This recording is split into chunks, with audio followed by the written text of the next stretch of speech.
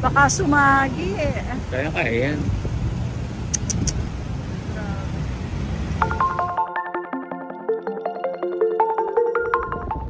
Hello guys!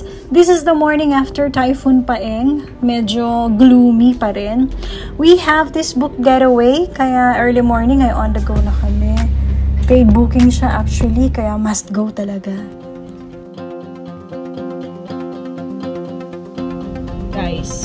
Lang ni Bagyong Paeng.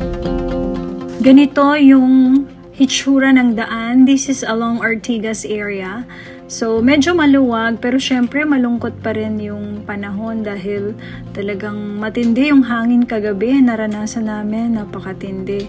Talagang kailangan lang talaga namin na magpunta kasi nakabook na to weeks ago pa at inanticipate na ng kids itong family getaway namin. So, actually, kagabi, nagpapack kami nung mga dadalhin namin gamit, damit. Naka, ano lang kami, naka emergency light lang kami.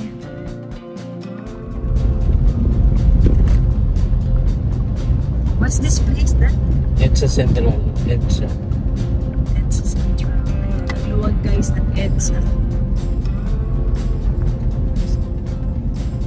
Look. Huwag tayo sa bus lane dad ah. Itong nasa left with partition ang bus lane guys, we are really careful and cautious na di makapasok sa area na yan kasi siya ay for buses only. Kaya ang tawag sa kanya ay bus lane. Yeah. Dito ka dapat mag-OJT, Doc. Yung hospital dito, Doc. Polymedic Hospital. And now, approaching na tayo ng Park and Fly. Nandito siya actually sa kanto. Yun, yung may malaking signage sa bubong. Dito namin actually ilalagak ang sasakyan for a few days. Kaya we'll sign in papers to arrange that.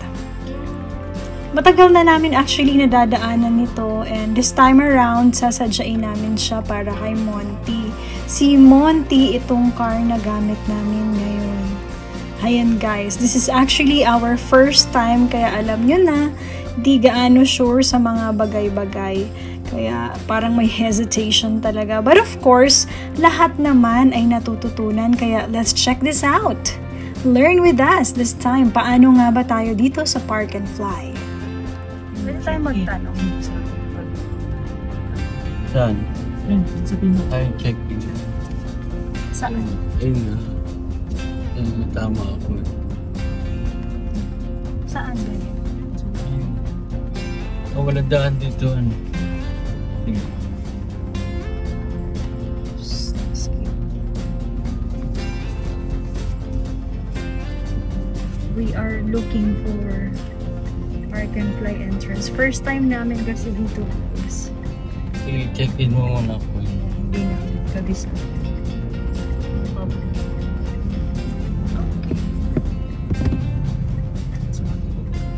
Samahan kita. Kayo, kayong dalawa no? We are currently checking in the car here at Park and Fly. So, kailangan ibigay yung copy ng photocopy ng RCR at saka yung photocopy ng driver's license. Kanina ay si kuya kasama ko dito since siya ang nag-inquire last week. So, siya ang tumawag. Pero, driver's license ni daddy ang ipipresent, kaya kailangan siya mismo. So, ganon ang process guys. You have to bring a photocopy of the ORCR at photocopy din ng driver's license. Pero kung malabo yung driver's license ay kailangang ipakita yung original, then sila na ang magpo-photocopy. And of course, kailangang mag-fill out ng forms and then ipapaliwanag nila lahat ng mga processes. At dito, ibinilin nila na mahalaga yung parking ticket sa pag-claim. Kaya ingatan siyang mabuti at hindi talaga dapat siya maiwala.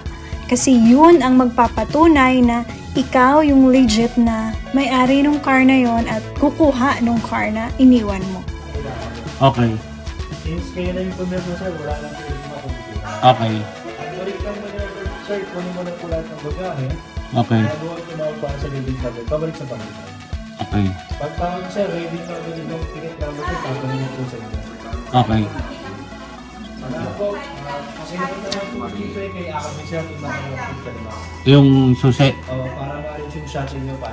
Okay, sige. Ah, wala tayo sila. Ano ang terminal po?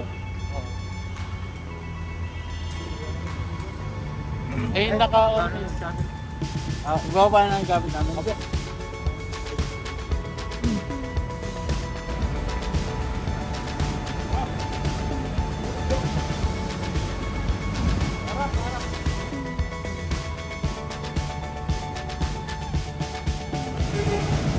Baka sumagi eh. Kaya kaya yan.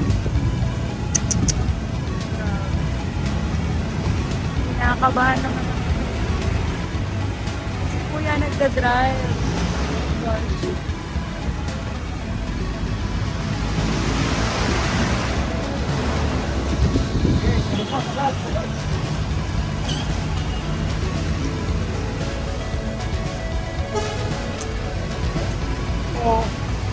Gosh. Ha?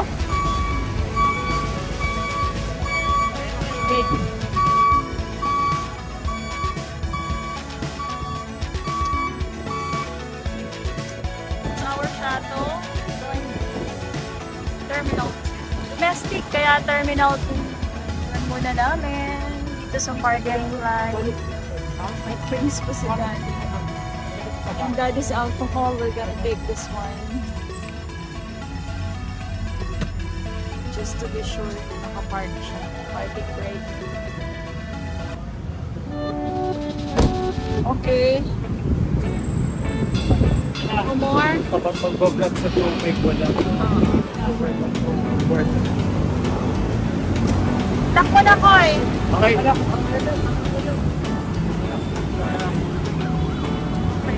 Thank you.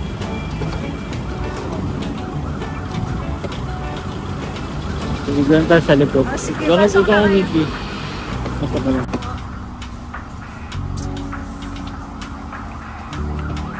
Okay. Sige, Dad. Okay. Overboard sa tubig. Naka Terminal sakay two tayo, na di ba? Sa service ng Park and Fly.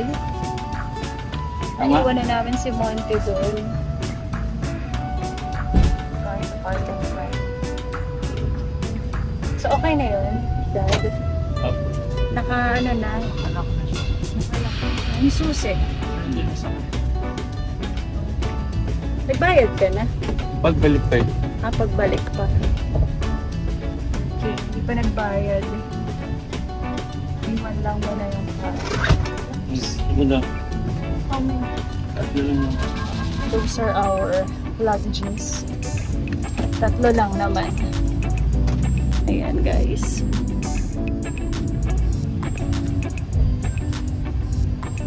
So, dito kami sa likod ni Daddy. And the baby boys are in front.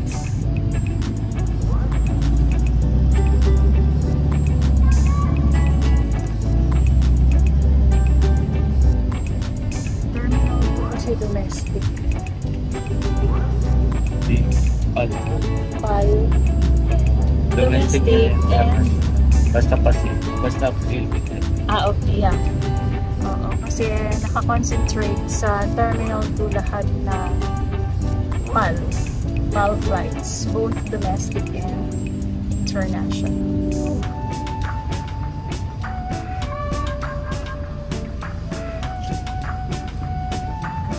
Oras, 8.15.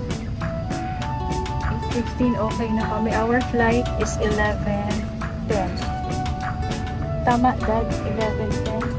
PR20 for the one going to Katiklan. Thanks God, umupa na yung bagyo. Kala namin kahapon ay marirebook ang flight namin and another concern pa yung accommodation namin sa Henan Gardens. So, thanks God. Okay na ang weather.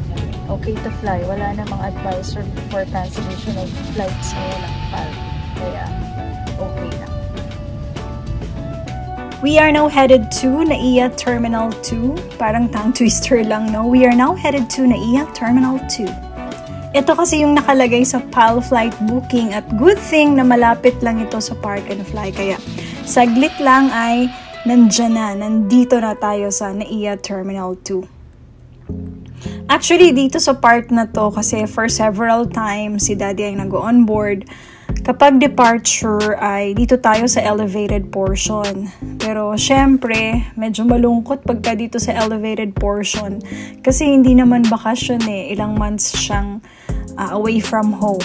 Yung sa baba, ay arrivals. Syempre, kapag galing sa work, tapos makikita mo sa arrival ka pupunta, ay ang saya-saya.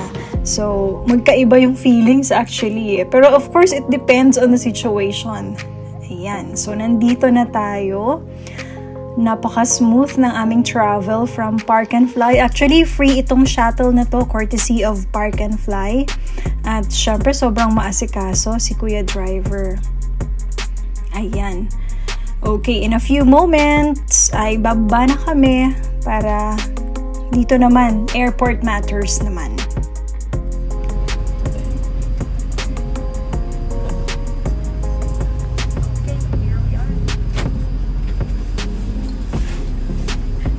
Bunso, open.